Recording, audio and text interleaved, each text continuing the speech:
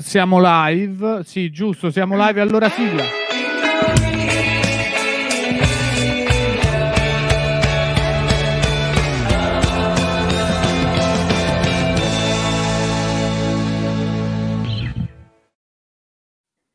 Ciao a tutte, ciao a tutti, benvenuti a una nuova puntata di Tintoria sempre live. L'ospite di questa puntata è Yoko Yamada. Ciao Yoko. Ciao Daniele, ciao Stefano, è un piacere essere qui a Tintoria.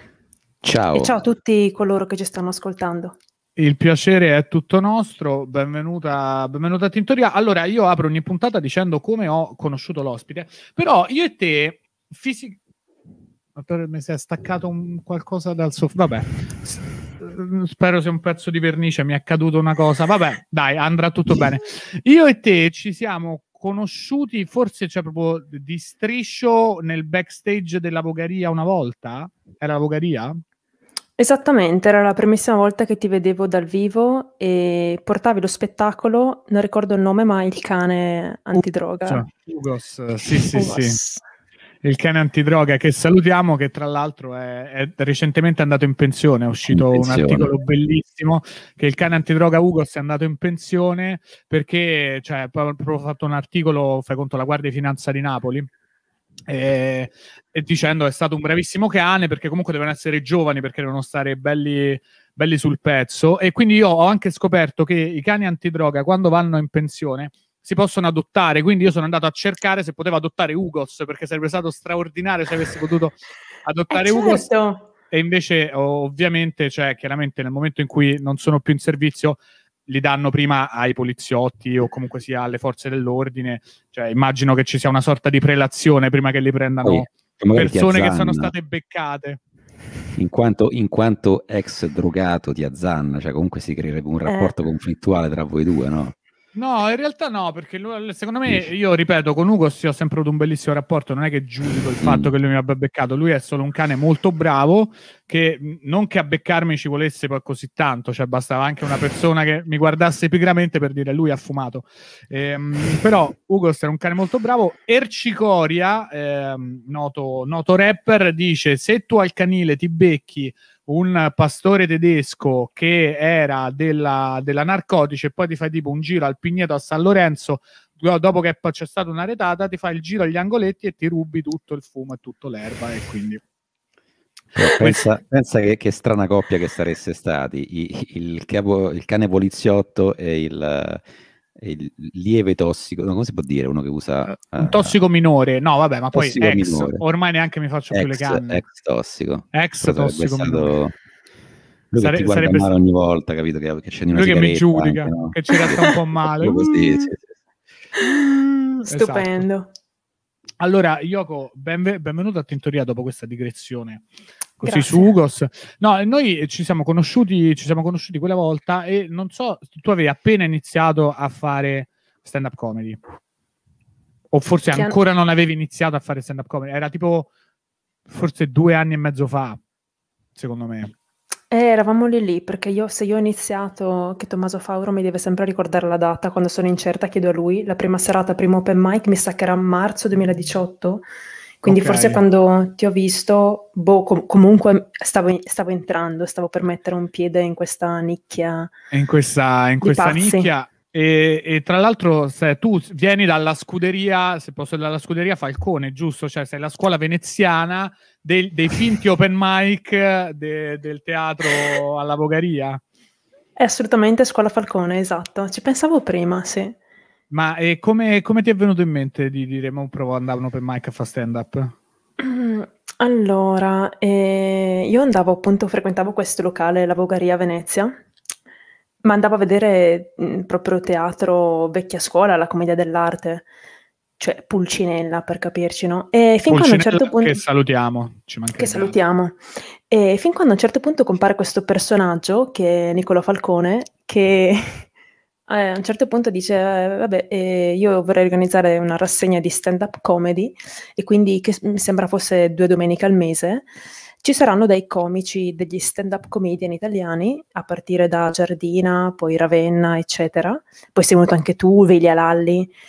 E è stata la prima volta che io vedevo un comico, uno stand-up comedian dal vivo e mi ero persa Giardina, quindi se non sbaglio il primissimo è stato proprio Ravenna e io quando ho visto lui ho detto voglio anche io questa cosa, voglio provarci. E nel mentre in realtà stavo già preparando casualmente un pezzo comico, ma non era proprio un pezzo comico, era un misto tra una roba di, di cabaret, cioè una storia inventata che io poi ho chiamato una, la mia storia d'amore, una storia d'amore inventata ma che ha del surreale, cioè non ha a che vedere con la stand-up comedy, lo vedi che proprio io lì recito, faccio una parte, c'è un braccio di manichino ehm, preso dal mio centro commerciale che insomma questa storia d'amore tra me e una Barbie, però avevo anche tro- cercato di scrivere una, una cosa più da stand-up. E fatalità io sì, mi sono esibita per la prima volta a quell'open mic organizzato da Falcone una volta che si era chiusa la rassegna, però la sera prima o due sere prime, due, una o due sere prima, sì. mi sono esibita in un altro locale, sempre lì a Venezia, coprendo Falcone, nel senso che visto che ehm, quest'altro locale eh, che faceva una sorta di facciamo David Letterman Show che si chiama Frullatorio, che sono questi ragazzi di, di Venezia che fanno imitazioni, video esilaranti, eccetera. Avevano iniziato a invitare anche, anche Falcone per fare un, uno sketch di stand-up. Quella sera gli si era ammalato il figlio, per cui due o tre ore prima hanno chiamato me, perché comunque li conoscevo e sapevano che stavo scrivendo questa cosa, per cui io non l'ho provato all'open mic, ma quella sera prima al posto di Falcone. Ed era andata bene, infatti lui poi sapeva quando mi ha annunciato, cioè nel backstage mi ha detto, oh, mi hanno detto che sei andata forte ieri sera. e quindi poi... Bene, sì. be- bellissimo. Continua questa wave di giovani comici che prendono il posto di Falcone, giovani comici veneziani che hanno il posto di Falcone. Senti, quindi giusto per precisare, il braccio di manichino regolarmente acquistato al centro commerciale dove lavoravi, immagino. Sì, certo. certo. certo in prestito, diciamo, poi l'hai rimessa a posto. E, no, beh, banalmente faceva parte di quelli rotti e quindi ho parlato con Visual Merchandise, ho detto sì, questi li buttiamo, faccio li prendo io. Ma perché sono quelli fatti benissimo con le dita che si... Eh, proprio le, le, le falangi che, che puoi, stupende. Che puoi modellare, quelli che mm, puoi... E, Infatti mi capita spesso quando sto lavorando eh, di passare a vedere il manichino, eh, perché la gente passando si certo. diverte a... Certo, è chiaro, è chiaro. Figurati se... Fatti bene, fatti bene il legno. Se si perde questa occasione. Senti, ma quindi tu già eri appassionata di teatro e già studiavi, cioè già scrivevi roba, per, ma perché stavi con qualche compagnia o no? No, allora io mi sono sempre definita un'appassionata di teatro però una finta appassionata di teatro, nel senso che um, frequentavo questo, um, questo, teatro e in più, quando ne avevo l'occasione, partecipavo sempre a dei piccoli laboratori che organizzava la mia università, ma ti parlo di laboratori che duravano da un giorno a tre a sette, ma limitati nel tempo. Una volta che ne so, il laboratorio sulle maschere, un altro su um, Macbeth, proprio a, a caso, però comunque mi piaceva la sensazione del palco, del teatro anche dei costumi, di mettere in scena qualcosa. Eh, ma infatti a volte cioè, ci sono delle volte in cui eh, mi dico, ma a me chi, chi, chi, me l'ha fatto fare di fare stand up? Io non voglio scrivermi le robe, io voglio recitare una parte, diciamo questo quando magari sono un po' giù di corda o mi è andata male una serata e dico, ma e questo perché faccio schifo a scrivere, io devo mettermi un, un, vestito, interpretare una parte e poi non mi si può dire nulla perché eh, io sto interpretando un personaggio, non sono me stessa, però è molto più difficile ma anche molto più bello quando esce bene, per cui in realtà poi... Vabbè, comunque, quindi partecipavo a questi laboratori e... Però no, non facevo ancora parte di una compagnia teatrale, adesso sì, cioè, sì, vabbè, col periodo che stavamo portando in scena sempre io, il mio coinquilino e questi altri ragazzi, ehm, questa compagnia che si chiama Malmadur. Cioè in realtà io sostituisco, non sono proprio parte della compagnia, sostituisco... Ehm, Falcone. A, a, Sostituisco uno di questi ragazzi quando manca per portare uno spettacolo itinerante, insomma, beh, poi ovviamente ci siamo fermati tutti per il Covid, però però questo è successo dopo. Io sì, ero una finta appassionata di teatro, però appunto ti dico, io la stand-up l'ho proprio conosciuta, la stand-up italiana, con questa rassegna che ha, fatto, che ha portato Falcone a Venezia. Eh, ricordiamo che Falcone ha portato la stand-up comedy a Venezia. E, e senti, invece stand-up americana o comunque sia internazionale? Quella... Io dico sempre americana, ma magari tu addirittura guardavi a Est la stand-up, non lo so. Cioè, no, no, no. No, io ecco, mi sono resa conto poi una volta appassionandomi a quella italiana, perché mh, mm, cioè, una volta capito che volevo fare stand up, guardavo sempre più video e soprattutto scoprivo sempre più eh, gente come voi. Prima però, però mi sono detta, ma aspetta, io una roba simile già la guardavo, forse addirittura dal, dal, dalle medie, però più al liceo. Io quando poi ho iniziato anche magari a studiare su qualche libro e leggevo ehm, George Carlin, per esempio, andavo a vedere chi era e dico, ma dai, ma sì, ma lui, ma questo pezzo l'ho visto 20 volte, per cui mi sono resa conto che io in realtà sono sempre stata appassionata più che del teatro, proprio della comicità. Però ogni volta che riguardavo non ho mai pensato piacerebbe farlo anche a me. Io mm, su YouTube scrivo sempre qualcosa, ah, magari poi vabbè sai le ricerche scorrelate eccetera, sempre sub ita, mi guardavo queste robe qua, da Louis C.K. a George Carlin e... Mh, mm, poche donne effettivamente, però sì, quello che mi suggeriva YouTube, non avevo altri canali. Poi vabbè, ovviamente mi ricordo ancora quando poi finito l'open mic con Fauro, eccetera, che eravamo nel backstage a mangiare pane e salame, c'era Falcone che diceva, ah no, prima, scusami, prima dell'open mic, quando si era esibito qualcun altro, banalmente, ma poteva essere stato Giardi, eh, Ravenna, lui aveva capito che io e Fauro e altri volevamo iscriverci all'open mic, ci ha, ci ha chiesto ma quindi siete appassionati, cosa sapete, eccetera, e ha detto allora, primo consiglio, scaricatevi Netflix, eh, guardatevi tutto il possibile. E così io feci. E infatti, boh, penso di aver visto quasi tutto ormai. E so, tra l'altro tengo anche questo quadernino ogni volta che vedo qualcuno. L'ultimo che ho visto è stato ieri sera, un islandese che mi era sfuggito eh, quello carino, io l'ho visto quello. metà Pardon, sì. my, Pardon My Icelandic, carino, simpatico, perché lui esatto. mi dà esatto. proprio questo vibe che secondo me hanno tutti gli islandesi, però probabilmente non è così, di persona comunque sia generalmente buona, quindi è sì. là tutto buonone. Esatto, anche, se, esatto. anche se fai Italian shaming, che dice quella cosa, eh, questa cosa le persone non sanno che noi siamo gli italiani de, del nord Europa perché rimandiamo tutto quanto e facciamo sempre tutto dopo, che comunque c'è, tanto, mol, c'è anche molto di più la cultura italiana, però siamo anche tutti consapevoli che ha ragione. Tra l'altro penso sia nella scuderia del, dove c'è anche De Carlo, insomma, di quei comici. Ah sì? È nella eh, stessa sì. me- mega agenzia internazionale. Internazionali, sì, sì, sì. Vedi? Davvero? Wow! Non avevo Vedi? idea. Mi pare, mi pare di sì. Quindi la prossima volta che De Carlo lo vede gli diciamo di dargli un pugno, diciamo, questo, questo è per l'Italia.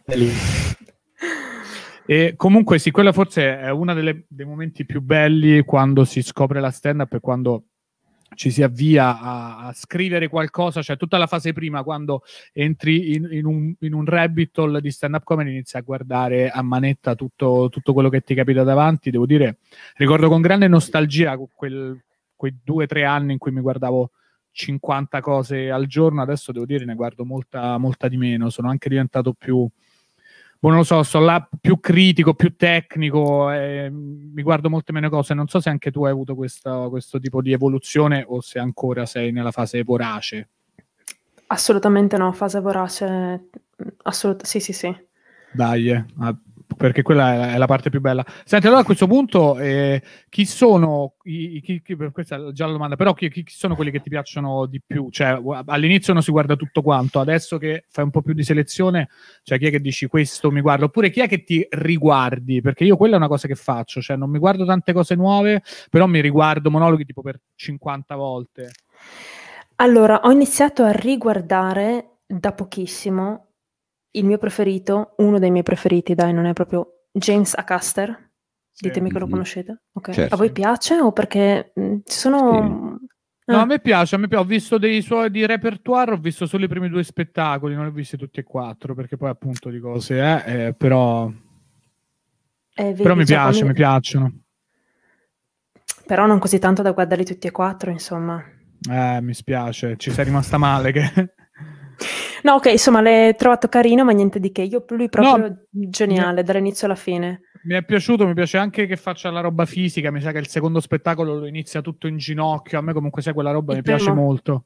il primo, eh. Sì, che era quello che c'era che poi lui faceva finta di essere un poliziotto, una cosa del genere. C'era questa gag ricorrente che diceva... In incognito, sì. esatto. Sì, sì, sì.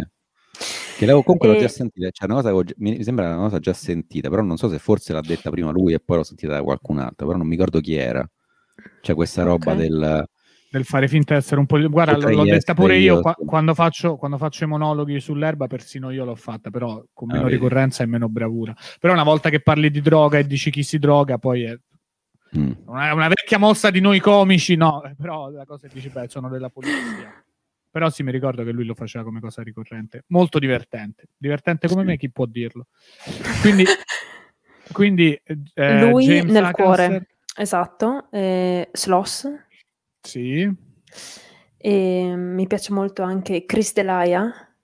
Sì, che tra l'altro Chris Delia, se posso. Ah, Delia. Chris Delia è appena tornato dopo essere stato cancellato per un anno perché eh, Chris Delia scriveva, è stato accusato di provarci con ragazze minorenni, ma lui si è difeso dicendo no, guarda, effettivamente io scrivo solo a ragazze maggiorenni e, e, adesso è tornato, ma tipo il mese scorso ha ricominciato a fare video, a postare cose perché per un anno è stato ufficialmente ma cancellato. Come è andato? Ce l'hanno scagionato? Come funziona? Cioè, l'hanno... Beh, lui non, è stato, non ha fatto niente di illegale perché allora lui l'avevano accusato di fare grooming, che credo sia invece proprio mm-hmm. un reato in America, cioè che quando una ragazza minorenne tu diciamo, credo è un termine molto, molto brutto, cioè come si suol dire te, te la coltivi se posso se posso mm-hmm. dire una, una, nefandezza in italiano. E quindi è quando comincia a scrivere una ragazza minorenne, e così poi quando è maggiorenne arrivi tu e fai tipo, ehi, sei maggiorenne, eccomi qua. Eh, però lui dice: No, guarda, in realtà io ho avuto tutti i miei. C'ho, c'ho, c'ho, tutti i cazzi col sesso, sto in fissa col sesso, effettivamente vado a letto con ragazze molto più giovani di me perché credo lui abbia 40 anni e eh, appunto Circa. usciva, frequentava ragazze di 18-19 anni, però lui dice un conto è essere una persona con problemi sessuali e un conto è essere un criminale, però per un anno è sparito, cioè nel senso mm. perché comunque tutti dicevano ah no tu sei una merda, sei un pedofilo. Tra l'altro lui interpretava il pedofilo in una serie tv proprio mentre è uscito fuori questo scandalo ah, e, ehm, e, adesso è tornato dicendo ah mi rendo conto di essere, come dicono nei commenti, di essere stato super viscido, anche perché lui credo abbia un figlio, è fidanzato e, e però sì, mega viscido perché appunto sei comunque comunque un, um, un comico quarantenne, poi lui ha mega successo sui social, almeno c'aveva mega successo sui social, e, e, quindi così si è fatto un po' un giro di gogna più o meno giusto, poi questo sta alla morale delle persone. Senti, ti piace? Quello dicevo, sta questa coincidenza che tipo, che ne so, lui faceva il pedofilo in una serie e è stato accusato di questa cosa. Lui sì che aveva fatto il, il film su uh, un, cioè, su, su, lui che parlava delle donne con quella specie di... Mh, so, l'avete visto il film di Louis C.K. che non è mai uscito?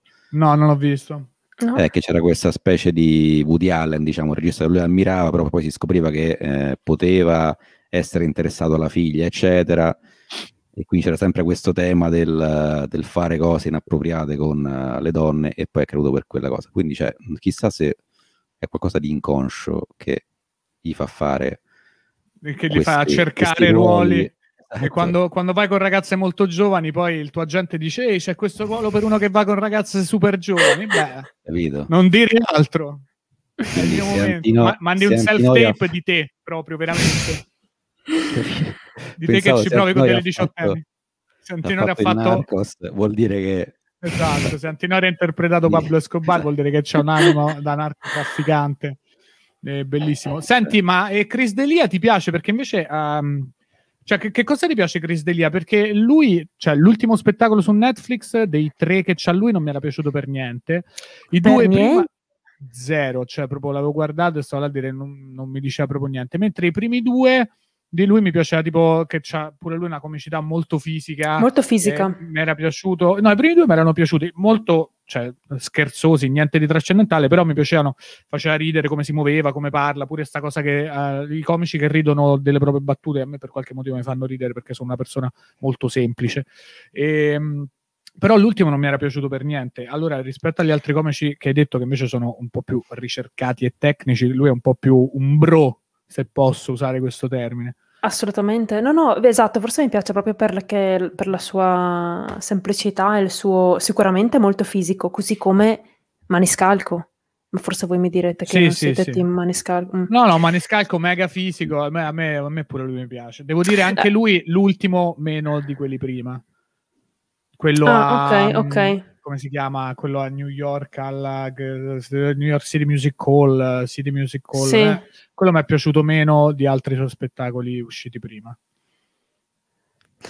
Sì, ho un po' paura a dire i miei, cioè paura a dire i miei gusti, però l'ultima volta che li ho detti ero con, con Fauro che mi ha detto che ho proprio dei gusti da boomer e che non apprezzo. no. no, perché effettivamente eh, certi, mh, certe mh, ehm, pietre miliari non, proprio non le... Tipo, appunto, adesso manco mi viene il nome, ma perché non, non riesco, no, non mi fa ridere. È, ehm, oddio, dai, aiutatemi. Eh, uh, Bill X. Agli occhiali, eh, no. diciamo di no, no, no. Indovina chi? No, è dai, bianco, eh, è maschio, no, no, no, no, raga, mi è venuto in mente Dave Chappelle. Ah, okay. no, no, no, Quindi pensa, non era bianco, vedi, già avevo sbagliato.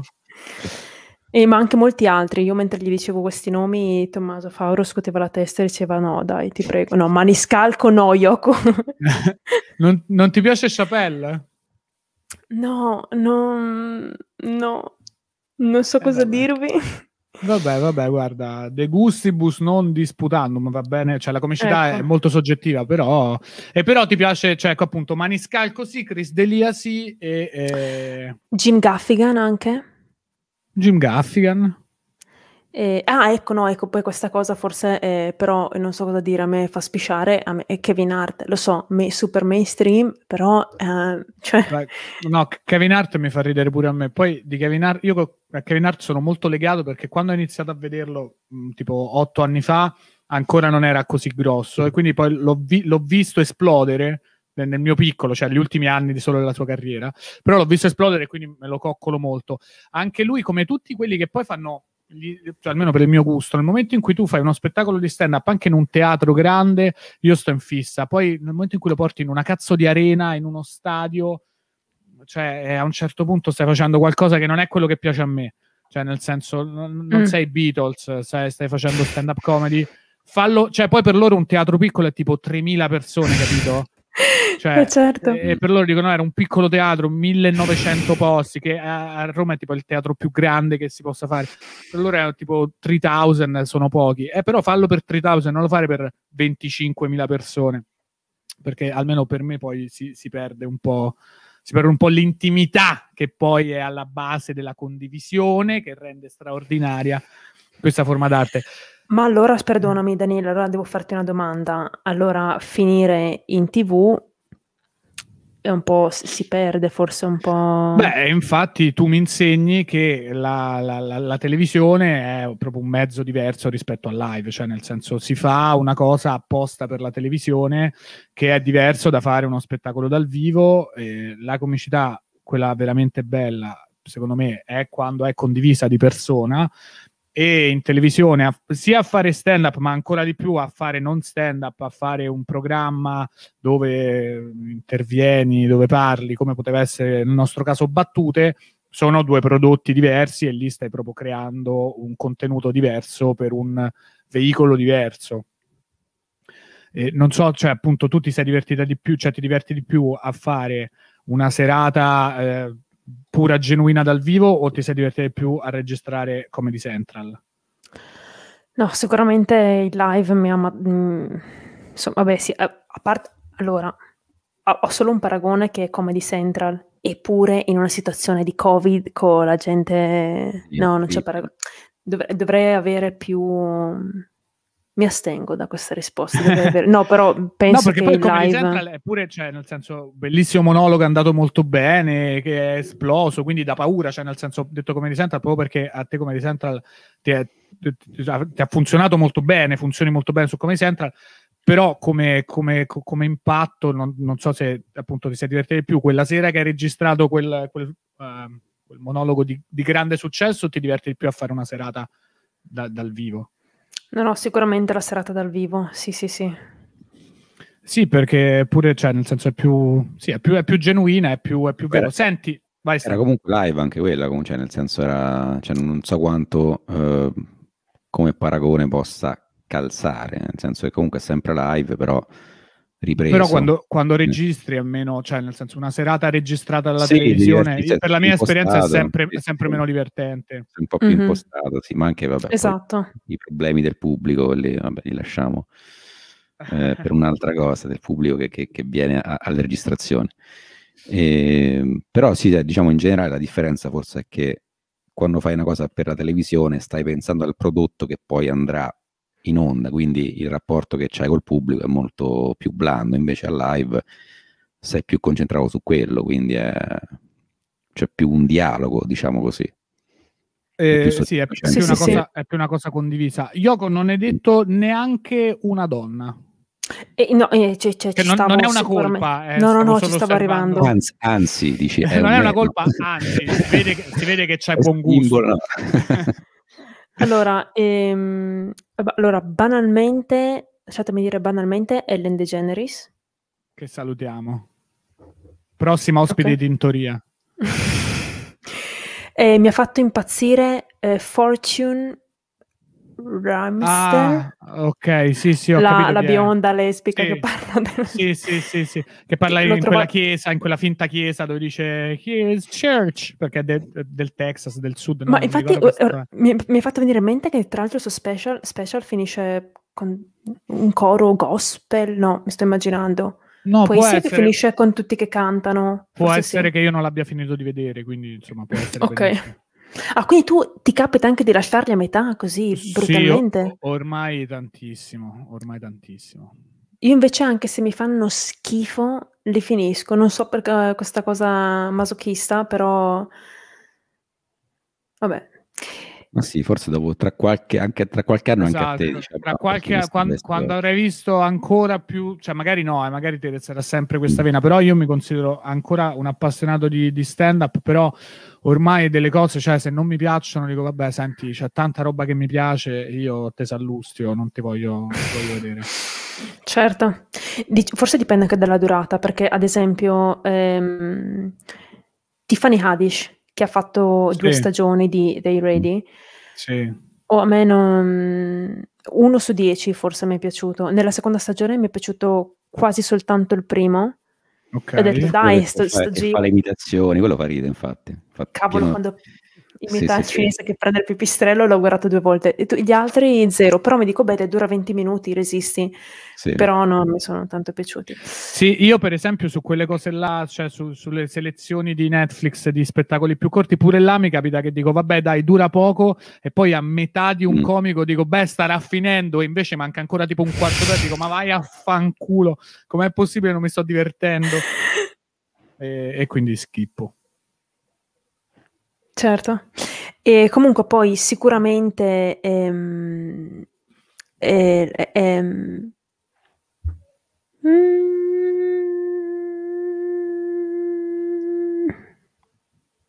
Vabbè, dai, Silverman, la Silverman, no, Sa- Sarah, Sarah Silverman. Silverman. Sarah Silverman. Sì, Sara Silverman fa un botto ridere. Tra l'altro lei ha un solo spettacolo su Netflix, mentre invece ce ne sta sì. un altro che girava su YouTube prima che la stand-up andasse di moda e togliessero tutto quanto da YouTube. Almeno io ho questa immagine. Quando io iniziai a guardare la stand-up su YouTube c'era un botto di stand-up americana su YouTube eh, e, poi, e poi è sparita tutta quanta quando banalmente è arrivato è arrivato Netflix. Netflix. E c'è un altro spettacolo suo molto bello che però non, non l'ho mai più ritrovato da, da, nessuna parte. Però sì, Sara Silverman spacca. Devo dire, devo dire molto divertente. E, mm-hmm. allora, come, come, siamo finiti a parlare di, di Sara Silverman? Adesso mi sono... No, mi, mi chiedevi comi- ah, com- sì, certo, comiche. Certo, certo, comiche, esatto, ti chiedevo comiche, perché poi a dire i comici sono brevi tutti, ma diciamo le comiche. Adesso sentiamo quali sono le comiche che fanno invece ridere Stefano Rapone. No, aspetta, vedi. sì, no, l'avevo, l'avevo visto frizzato, volevo, volevo, fare questa gag, poi la clippiamo. Ma è di nuovo frizzato? Stefano si rifiuta sì. di rispondere a questa, a questa domanda. Sono, sono per tornato. lui è molto difficile. Ecco, sei tornato. Sono tornato. Stefano, hai, hai chiuso quando, quando, ti ho chiesto quando... quali sono le comiche che fanno ridere te?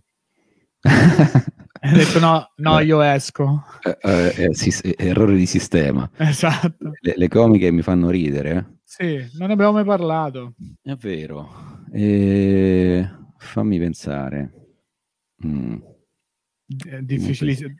No, vabbè, pure, perché in realtà io, eh, avendo visto gli spettacoli eh, all'inizio, cioè quando appunto c'era la prima ondata, io mi ricordo che le eh, comiche che venivano tradotte erano molto poche e quelle che c'erano, che giravano erano appunto Sara Silverman, Ellen, e, ehm, chi, chi, mi piace? Mi piace... Ehm... Amy Schumer? Sì, Amy Schumer, allora io ho visto quello, quello spettacolo che fece eh, vestita tutta quanta di... Mm, di pelle, di pelle, il leather special, quello brutto. E quello, e quello non, mi, non, mi, piacque, mi ricordo.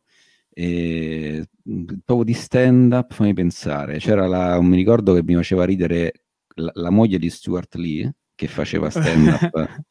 eh, fe, fece una cosa una volta travestita da, mm, da, da formica e faceva tutta una, una, una routine di stand up dal punto di vista di una formica e quello era molto buffo. E, mm, mi, mi, ricordo, aspetta, come si chiama? Adesso mi viene, eh, a me era eh, piaciuto Bridget uscito Christie, Bridget Christie. Ok. Eh, sì, Tina Fey, eh, però... Tina Fey come, come, scrittrice. Eh, come scrittrice, non è una, una comica. Eh, come si chiama quella, quella, che ha fatto quello spettacolo su Netflix con... Uh, ah, una Ali Wong, Ali Wong, che, sì. Che stava sì, sempre, sì, sempre era incinta in, in, tutti e due gli special, peraltro. Sì, quella mi era mh, mm, piaciuta e anche eh, quell'altra che... Eh, A me Michelle Wolf uh, c'ha uno special di stand-up che mi ha fatto ridere. Urla tutto il tempo, riccia, rossa. C'ha una voce un po'... No, non la so fare. Ah, sì, sì, sì, ho capito, ho capito che c'è quel, quello special in cui sta in ogni, vol- in ogni situazione in un palco diverso, però un palco tipo sfigato. No, aspetta, come si chiama lei? No, no, non me la ricordo questa quella. Che c'è, la voce, che c'è sempre la vocetta un po' nasale. No, quella, quella è Jenny Slate, quella è Jenny Slate, mi sa, che, che, pure quello era figo di special. Vedi, ormai siamo proprio dei boomer che non si ricordano le cose. Sì, madonna. Eh, no, no, non è Genesis. Vabbè, adesso, eh, Maria, Maria Bre- Bradford, nota così. Ah, ok, ok. Ho capito di chi stai parlando. Bradford. Maria Bradford. Suggeriscono anche Bradford. Lisa Lampanelli. Sì, ho visto qualcosina, ma... Lisa Lampanelli che salutiamo. Lisa Lampanelli che fa insult comedy. Esatto. Come, come Giorgio Magri. Forse più il contrario. più il contrario. Però eh, Lisa Lampanelli sì che infatti sta in un botto di in un botto di roast, tipo sui roast Benford. come vi ponete? Perché a me piacciono molto i mi piacciono molto i roast, però un botto di volte poi diventano una cosa molto uh, schematizzata, per cui a Lisa Lampanelli gli dicono ah, sei, sei una troia e ti scopi neri. Cioè, nel senso, mm. que- cioè, diventa molto grevità così, però i, i bei roast sono belli. Non so, Yoko, se tu hai, hai mai bazzicato, ti sei mai vista qualche roast? Ma no, infatti volevo chiederti cosa intendi per roast. Ah, il roast è questa pratica anglosassone per cui si prende un personaggio famoso eh, che in, in teoria tutti i comici presenti conoscono, che lo, lo insultano e, e, si insultano tutti quelli presenti sul palco e poi l'ospite della serata, ma proprio si dicono delle grevate incredibili. Su YouTube ce ne stanno alcuni molto belli. Ce n'è uno fatto a Donald Trump prima che fosse presidente, molto bello. Ce n'è uno ah. a Justin Timberlake, carino. Ce n'è uno di James Franco. Di solito in America li organizza Comedy Central. Mm. Ma eh, a volte dicono delle grezzate senza, senza sì. cioè in Italia sarebbe eh, lì è bello perché vale tutto, cioè anche so, parenti morti, capito? Cose, sì, sì, sì, cose, cose brutali. Sì, sì, Cioè, proprio eh, vale tutto e là cioè, ridono e, e funziona. C'è una persona. C'è una mia sorella che sta cercando che non so cosa. Eh, salutiamo. Fai quello che devi fare, ti salutano. Salutiamo. Ciao, benvenuto a Tintoria. La, la, la giovane Yamada. Esatto. esatto. Young, Young Yamada. Vai tranquilla. E abbiamo, e... Fatto, abbiamo, Fatto, una lista di comici alla fine, visto? Diventata, è diventata eh, infatti, infatti. Alla fine sì. Ma invece che ti volevo chiedere, ma invece parliamo del, uh, de, della tua origine, nel senso, tu come sai, io sono, uh, ho studiato giapponese, sono, mi piace molto il, il Giappone, volevo sapere, beh, piace anche a te, immagino, visto che anche tu l'hai, l'hai approfondito, diciamo, a parte esserci così, cioè, qual è il tuo rapporto oggi con la uh, tua, si può dire, madrepatria per metà, come si può dire, con la tua origine. Padre, pa- in quanto figlia di Co- col Giappone. Esatto, col Giappone. Diciamo col Giappone, possiamo dire eh, Giappone. Eh, ma col Giappone molto buono. Col giapponese è pessimo da sotterrarsi, eh, perché quello... lo posso dire a tutti gli ascoltatori e le ascoltatrici di Tintoria, io sono convinta che tu Stefano sia, sappia giapponese molto meglio di me. Tu ma usi forse so, quotidianamente però... dizionario elettronico? Lo usi spesso? Ma lo uso sì, cioè nel senso cioè, se, se, trovo un termine, cioè non è che uso il giapponese così spesso da utilizzarlo uh, così di frequente, però se sto vedendo una cosa e dico ah, cos'è questa parola, vedo. Eh, esatto, esatto, esatto. Io dopo, dopo, la mia laurea triennale l'ho reimpacchettato e l'ho messo, ah. non so neanche più dove. Cosa e... sei laureata? In giapponese, pensa un po'. Allora, la, la faccenda è questa, mm, babbo giapponese, mamma bresciana, però io non l'ho mai imparato davvero, cioè purtroppo non sono bilingue, magari, magari perché non avrei neanche fatto sto percorso, avrei fatto qualcos'altro. E, ehm, per cui io alla fine della, de, del, del, liceo mi sono detta cosa scelgo, cosa scelgo e comunque mi sono sempre abbastanza appassionata di lingue, ho detto vabbè vuoi non studiare il giapponese, la lingua del papà, perché veramente fino ai 18 anni io sapevo soltanto dire grazie, ciao, ho fame, è buono di base. Sapevo scrivere solo il mio nome e all'università ho scoperto che lo scrivevo sbagliato perché ne facevo una goccina d'acqua in più sulla, sul kanji, sul carattere di ovest che è pecora con l'acqua, insomma vabbè. Ehm, invece poi là, eh, appunto, ho scelto la Ca' Foscari, che è una delle più prestigiose in Italia, penso sia quella e quella di Napoli le più ce n'erano anche a Bergamo, ma era troppo vicino a casa. In, Quindi in mi sono trasferita. Nessuna delle tre ha studiato Rapone. Questo ci no, perché io, no, perché quando, quando, io ho cominciato a studiare c'era la, la, neonata facoltà di studi orientali a Roma che eh, era appena insomma, stata, stata fondata. Io sono entrato, mi sono laureato, quando ho fatto 5-6 anni, dopodiché l'hanno chiusa. Quindi, quindi, quindi sei un tempo, unicorno. Esatto, ha fatto in tempo a fare tutto il percorso di studi e poi è, è scomparsa. Ma l'hanno chiusa come mai? Non avevano abbastanza iscritti? Per la vergogna Perché di aver fatto è arrivato, è arrivato uno tsunami chiamato Gelmini e ha, no.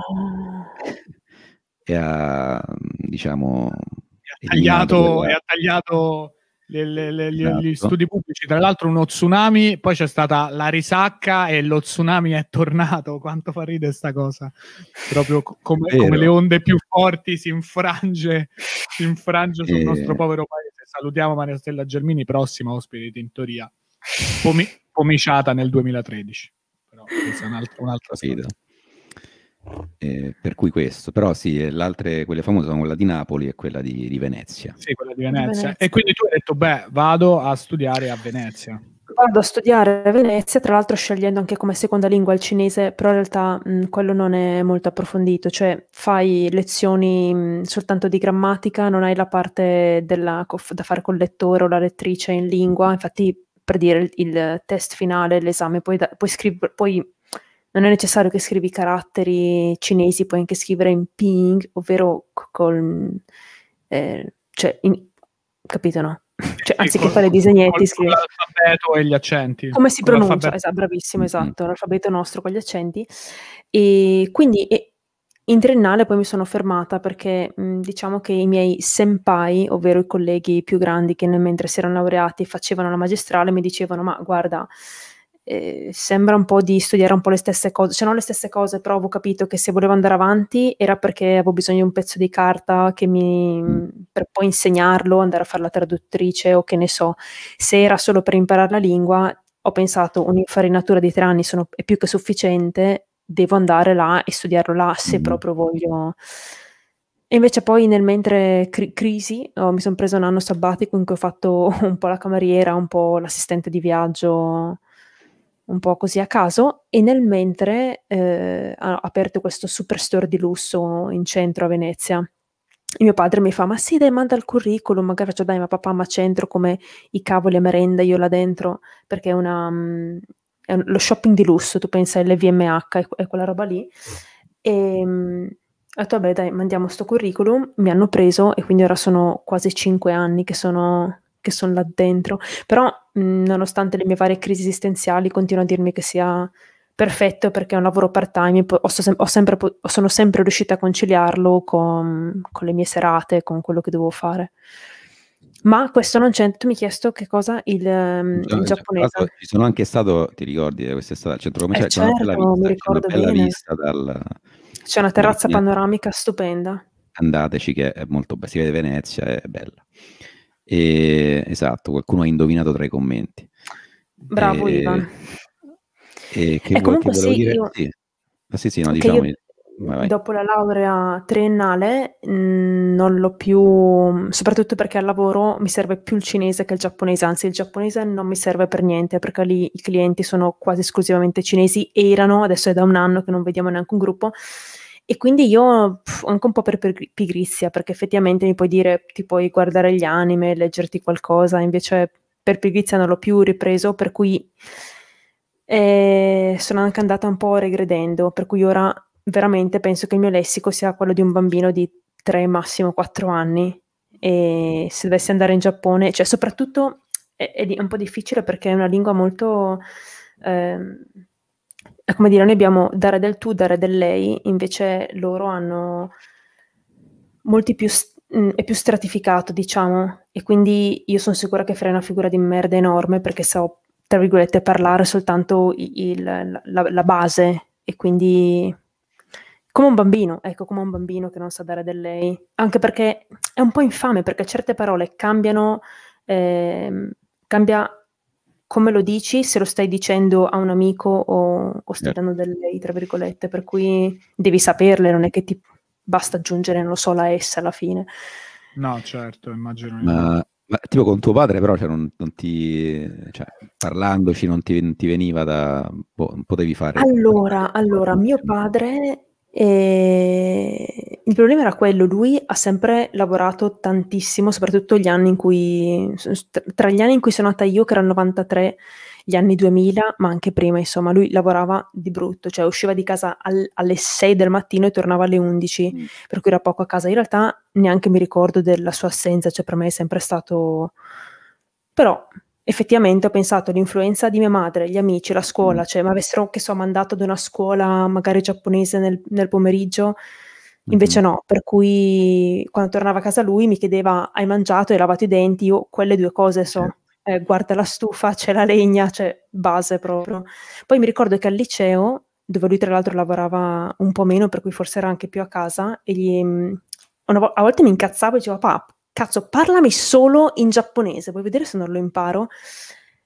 E la cosa andava scemando il giorno stesso perché lo iniziava, ci diceva ok ti parlo in giapponese, e mi parlava, io non capivo e dicevo questo cosa vuol dire? Certo. e quest'altro.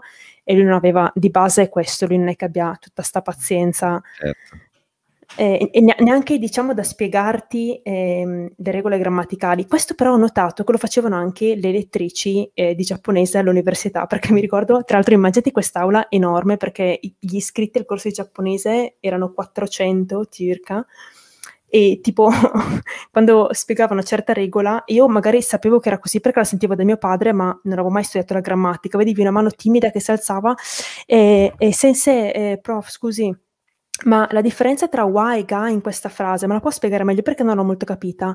E lei guardava la frase, diceva, è così e basta, perché, no? perché, certe cose hai fatica a spiegarle. E così sì, come mio padre, io... magari se mi chiedevo... Io pure no, penso non ho mai capito, c'è effettivamente la differenza tra, tra, tra wa e ga, che è una cosa, vabbè, complicatissima. Esatto, esatto. Per cui anche mio padre magari a volte, cioè io mi ricordo ancora che una volta mio fratello gli aveva chiesto, ma scusa papi, il tuo nome si pronuncia Yasutsugi o Yasutsugi? E lui aveva risposto, ma è uguale, non è uguale, G si pronuncia G, altrimenti sarebbe la J, però per lui c'è, ma sì, è uguale, no. Io, questa cosa mi ricordo che la cosa che, cioè l'ho sentita anche da altre persone questa cosa, perché allora quello che interessava era come veniva scritto tipo in kanji, cioè Mm-mm. è più importante perché poi come viene scritto, pronunciato, eh, però tipo sui documenti così, e quello che gli interessava è che venissero scritti corretti. Esatto, forse, esatto. Eh, sarà, sarà quello, quella cosa lì. Ma invece ci, cioè, ci vai, cioè, adesso no, però dico ci andavi in, in Giappone. Eh, esatto. Mm, in realtà neanche così spesso. Io ho fatto un paio di viaggi quando ero piccolina, di cui non ho ricordi. L'ultimo nel no aspetta, uno nel 95 98, ero piccola, non ricordo nulla. Un altro nel 2008 mi pare e l'ultimo è stato quando, prima di laurearmi, ho fatto tre mesi e mezzo alla Tokai University a Mhm. Tokyo, questo super campus eh, con un sacco di attività di sportivi, tra l'altro. Infatti mi ha fatto strano perché io nei viaggi precedenti, insomma, i giapponesi sono minutini, sono magrini, invece catapultata in quel campus erano tutti enormi che facevano, non so, rugby o, o calcio, no, no calcio, però o kendo, ed erano enormi, cioè, ma dove sono stati nascosti finora? E eh, tre mesi e mezzo circa, dove ho fatto praticamente il secondo semestre della, Mhm. della Ca' Foscari. Però anche lì mi ricordo che è stata du- durissima perché eh, sono- mi, mi hanno accettato, tra l'altro non era neanche la mia prima scelta di, di overseas, era tipo la seconda o terza scelta, Mhm. e però alla fine ho accettato e siamo partiti in 10 italiani, ci hanno fatto un test iniziale per capire in che classe andare e siamo finiti tutti tranne due nella seconda. La prima era top, quasi madrelingua, sono finiti i due più bravi, io e, tu- e gli altri otto nella seconda e fino alla fine alla quinta, per cui non male, però parlavamo tra di noi, ita- eh, perché oltre a noi italiani c'era una russa, un egiziano, eh, una thailandese, andava a finire che in- alle lezioni parlavamo italiano. Certo, Nel- nel, nel dormitorio era pieno anche di altre ragazze di altre nazionalità, si parlava inglese, per cui il giapponese io lo parlavo di base solo durante la lezione a rispondere alla docente, ma era difficilissimo. Io mi sono resa conto Mhm. dopo la prima settimana perché mh, già le lezioni iniziavano alle 9 circa del mattino, finivano alle 5, magari non consecutive, ma comunque, ma poi c'era anche economia, diritto, eh, religione, proprio io facevo una fatica a starci dietro e, e alle 5 io ero morta. Invece tu dicevi, vabbè, è finita però la giornata. No, i compiti, i kanji, i caratteri. E quindi dopo la prima settimana di follia ho detto, no, io non passerò tre mesi e mezzo così. Per cui niente, di base ho iniziato a sbattermi, ho detto, "Mm, sarà quel che sarà. Quindi di base un po' copiavo, un, un po' copiavo. Ma E- è, è come, come, come, com'è il copiare là? Cioè, nel senso, perché io, io ho studiato per tre settimane cinese all'Università di Shanghai un'estate, che è un'esperienza diversa, però mi ricordo. eh, io eh, con, con un amico sono andato e l'esame finale ce l'hanno fatto fare prima perché avevamo il volo qualche giorno prima della fine del corso e ci hanno messo in una stanza, il professore ci ha detto ok, questo è l'esame finale, eh, noi eravamo seduti là, questo professore ci ha dato il foglio eh, e poi se n'è andato. Cioè, e quindi eravamo io e lui aff- uno a fianco all'altro in una stanza vuota e a dire vabbè, eh, facciamolo insieme. Perché certo. proprio, cioè, loro l'hanno fatto così. E quindi co- com'era invece il copiare in, in Giappone? Cioè, ri- venendo dall'Italia, il paese dove siamo maestri di copiare, anzi, ricito il libro eh, Paura e rischio in Italia di Lorenzo Newman, dove si parla proprio di quanto copiare sia dannoso per la società, ma quanto ci piace farlo. Allora, devo dire molto simile. Innanzitutto non è come da noi che hai ogni tot la verifica o non so come anche al liceo l'interrogazione. Tu quasi tutti i giorni hai il mini test, perché effettivamente se hai fatto il- i compiti il giorno prima, cioè che ne so, abbiamo mh, generalmente da noi è finisci il capitolo, i due capitoli, test di quei due capitoli. Lì invece è, boh, ieri abbiamo studiato questi 10 caratteri nuovi, domani test. E quindi se lo superi è dato per, ehm, per assodato e, e lo sai ormai. Ehm, sì, mi ricordo la docente ehm, ci guardava, ci diceva fate silenzio, però mm, sì, di base non eravamo neanche così lontani e si poteva tranquillamente... Sì, era un clima tipo quello, non, non da lasciare l'aula, però mm, molto easy. Infatti, non vorrei dire, ma non c'è stato alla fine un vero e proprio test finale ehm, di cui aver paura. Ogni due giorni c'era il mini test Ok, e bene o male lo superavi. ok. Guarda, devo dire, io ho fatto un, un corso anche dopo la triennale, eh, pure io di tre mesi, così però privato, solo che era la metà del tempo che facevi tu, tipo facevo tre ore, una cosa del genere, e, e, c'era anche lì poi da fare i compiti a casa. Io ho fatto il tuo stesso ragionamento, però per la metà del tempo, cioè io non posso stare qua tutto il tempo a studiare e quindi eh, frequentavo ma poi andavo in giro e anche lì l'ho superato ma tipo per proprio il rotto della cuffia al test finale perché comunque ero anche finito in una classe forse più eh, anche io più elevata perché ho fatto il test iniziale e quindi facevo un po' fatica però tutto è bene quel che finisce bene. Quel che finisce bene. Quindi il messaggio di tintoria è non vi preoccupate se scegliete di non studiare perché poi potete sempre copiare Forza Italia. Esatto. Sì, ma dai, anche eh. perché, cavolo, io dicevo, già mi, mm, so, so, da, da, dalle 9 alle 5, so, da lunedì al venerdì, siamo qua a seguire queste lezioni, dico non mi frega niente. Il weekend, secondo te, io sto nel dormitorio a fare i compiti? No, il weekend si esce, si fanno le esperienze, si va in giro a vedere Infatti, le che città. facevi? Dove andavi? Che facevi? E allora, un po' con i miei compagni, un po' anche da mio fratello, perché nel mentre lui ha detto: "Eh no, cazzo, anch'io voglio andare in Giappone", per cui ha fatto un corso eh, da, da, sì, un corso privato di giapponese in un altro, no, sempre a Tokyo era. Penso che, boh, cos'erano 40 minuti di treno, lo raggiungevo, mm-hmm. per cui di base al weekend cercavamo qualcosa da fare insieme. Eh, io non ricordo grandi mete, semplicemente andavamo a Zonzo a vedere cose. Mm-hmm. Ma te in che zona stavi? Di che zona sei di, di Tokyo? Eh, dove sei?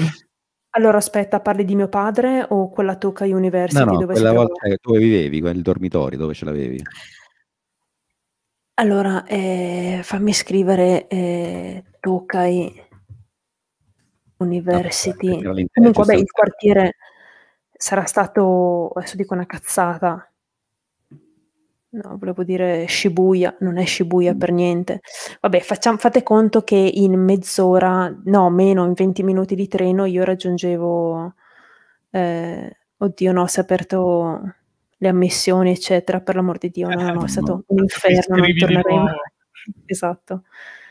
No, Tokyo. Vabbè, ah sì, perché tu dici Tokyo è enorme, faccio un attimo capire dove vabbè, facciamo Google Maps. Eh, però pensa che era Shibuya, come ho cercato pure io. Dici che era Shibuya? E dice così. Cioè, e com'è questo Shibuya? Eh, Rapone, Rapone, conosce bene le zone con, uh, con, gli studenti e le studentesse. Lui pensa è il Chris Delia di, del Giappone. con... Beh, Shibuya la conosci anche tu, è quella dove c'è il, la statua di Hachiko, ca- sì. Lugos, Lugos di, di Giappone. Hachiko, Lugos giapponese, Lugos del sollevante, Hachiko eh, che aspetta invece, sì, e a, Roma, a, Roma, si chiama Ashiko esatto. Chiedo, chiedo e, ehm, alla cultura giapponese dove c'è il famoso crossing quella insomma come, quella strada di, che, che, dove si attraversa gigante che fa insomma ah, dove, esatto. dove, iniziano, dove iniziano a diffondersi gli zombie anche sì e là è, è fighissimo quel posto cioè pieno di locali, di cose giovani. Si può dire un po' il pigneto, forse, non lo so, però il pigneto, pigneto, però... pigneto più pulito, un pigneto eh, meno sì, pericoloso. Sì. Vabbè, che oramai il pigneto. Eh... Per, per, vecchi, proprio come il Giappone. Eh, sì. Questa, ah, eh, esatto. tu, tu, sei per metà giapponese e per metà eh, italiana e quindi 100% due popoli che si stanno lasciando morire piuttosto che fare figli. Già. Questa, così, così è. Così Comunque, è. vabbè, Shibuya, sì, beh, non è Shibuya, proprio vicino. Sì. No, infatti. Vabbè, no, va bene. Allora, è arri- no, dove stavo? Sì, vabbè. Io, io, io arri- ah, vicino al parco di Yoyogi pure c'era, vabbè, comunque, bel posto. È il parco eh, che è Yellowstone, nel parco di Yoyogi. questa, questa la potete impacchettare e portare a casa. Allora, siamo arrivati a un momento um, uh, chiave di Tintoria, non so se, se, sai che Tintoria è il podcast della legalizzazione e io chiedevo a ogni ospite cosa ne pensasse della legalizzazione delle droghe leggere, ma questa domanda non mi dava soddisfazione. E quindi la domanda che inizio a fare è che rapporto hai, se ce l'hai o eh, hai avuto, se ce l'hai avuto con la marijuana e eh, essendo tu una, una comica, se, eh, se hai un rapporto con la marijuana, se ti sembra che ci sia una correlazione tra l'uso della marijuana e la creatività. Allora, io penso di essere l'unica a risponderti così, anzi sarei curiosa di sapere se altri ti rispondono così. Io non ho nessun rapporto, zero, nel senso che non ho mai neanche provato a fumare. Fumare marijuana, direi tu. No, no, manco il tabacco. Per cui proprio non sono assolutamente a favore della legalizzazione, sempre stata. Va bene. E che, che, rapporto c'è invece in Giappone? Il Giappone come si pone nei confronti della marijuana, se, se lo sapete? Perché, insomma, essendo voi, Stefano, che magari in gioventù qualche tiro di spinale l'ha fatto, però dubito che sia andato poi in Giappone a cercare la ganja, se non fuma qua, poi invece in Giappone è il mio momento. Però come, come si pone? Cioè, lo, lo, sapete un po'? Come... Allora, come io non ne ho... Vai tu, vai tu. Non ne ho idea, ma secondo me, cioè non so se sapete, eh, sicuramente Stefano saprà, ma in Giappone anche soltanto per fumare, fumare tabacco devi, devi stare nelle aree apposite che io adoro perché io non sopporto sì. l'odore del fumo. E quando vado in giro e quello davanti a me sta fumando, io devo superarlo per forza. A questi livelli siamo, ok? In Giappone non esiste questa cosa che la gente fuma per strada, sei proprio un ribelle eh, un, un, un, maleducato se, se, fumi camminando, devi stare nella tua area che tipo proprio sul, le trovi nel marciapiede del, delineata dalla striscia bianca e stai lì a fumare, non rompi le palle a nessun altro. E, ehm, non penso di aver mai sentito odore di ganja fuma- eh, gi- passando, fumando, sto per dire, girando per le strade, ma neanche di Tokyo, di qualsiasi, per cui non ne ho idea sicuramente lo fanno anche loro, ma Stefano, sai qualcosa di più? No, io quello che dicevamo anche l'altra volta con, con Giada Messetti, che eh, io quello che sapevo è che se c'era qualcosa tipo di...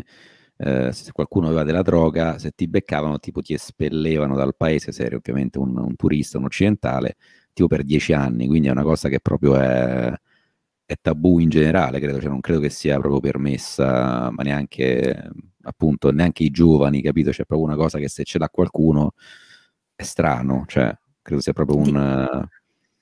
A questi livelli non pensavo, però non mi sorprende sinceramente. Sì, penso di sì, cioè non, poi non si vede mai, cioè in generale anche in, se tu pensi ai film, comunque sia, è raro che tu vedi uno che, eh, che lo fa o comunque un, un giovane, c'è proprio una, una, cosa di cui non si parla, quindi si vede che c'è proprio un, un tabù, credo, in, in generale ma in generale con la droga. Mentre invece l'alcol si sfondano tranquillamente. Tu eh, vero. Mi dicevi i... che ci stanno quelli collassati il giorno dopo esatto. il weekend che stanno là sì, sì, svenuti e, e tu ci cammini sopra. Quello è accettato. Cioè tu vedi questi proprio tipo, buttati per terra eh, anche sui binari per dire, no? del, sulle banchine del, della metro e tu semplicemente li scavalchi eh, oppure c'è qualche addetto che li sposta eh, tipo rispettosamente. Prato, rispettosamente. E inoltre ho visto anche una mostra di un fotografo che aveva fatto foto a tutti questi collassati. E... Il salari... Come? Come? Il salari... Sì, salaryman. Ah, sì, sì, sì. Eh, quindi è, cioè, questo è bello, cioè, è un aspetto che comunque uno non si aspetta, perché anche questo di cui non se ne parla spesso, però vai lì e tu dici, vedi, vedi il degrado, no? Specialmente nei weekend, invece lì è, tutto poi ritorna nell'ordine il giorno dopo, è tutto come se non fosse successo niente. Infatti, Vedi. infatti questa cosa è pazzesca. Vedi, sì. molto, molto bello. Questo, quando me l'ha raccontato la prima volta, pensavo fosse un aspetto veramente, veramente figo. Allora, è il momento, Stefano, invece della tua domanda. Ah, è un momento sì, però, che facciamo eh, una chissà, sigla. Chissà se.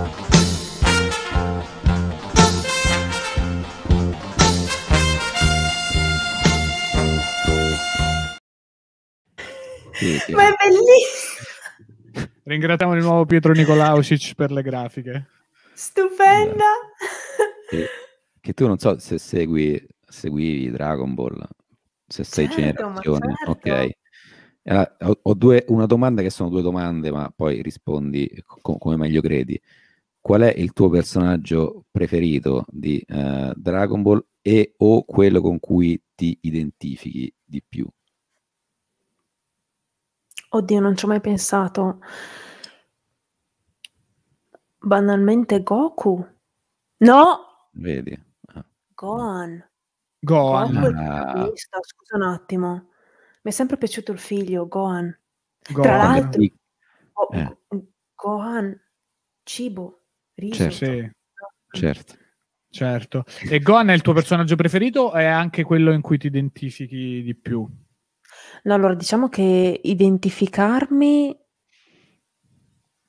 non saprei. Il preferito, quello che mi sta più simpatico. E come e, mai? E anche quale Gohan? Cioè in quale momento? Cioè Gohan super piccolo, Gohan medio, cioè Gohan fortissimo o Gohan studioso Beh, da grande? No, no, no, direi proprio la fase in cui si allenano nella stanza... Come ah, ok, Quando, dello spirito del tempo con con suo padre, quindi pri- prima subito sì. prima di battere Cell, quando sta per sì. essere il più forte sì, di il, tutti. Esatto, il momento di, di, di gloria forse più... Sì, più quello, quello, top Gohan, top Gohan, che comunque nel suo momento di gloria lascia per strada un sacco di... Il padre è per la sua arroganza, quindi al suo momento di massima è, però lì è proprio massima espressione di Gohan Saiyan. Bella Quella fase. Bene, bene, bella risposta. Eh, si, si, si, chiude così questa rubrica, sigla di chiusura.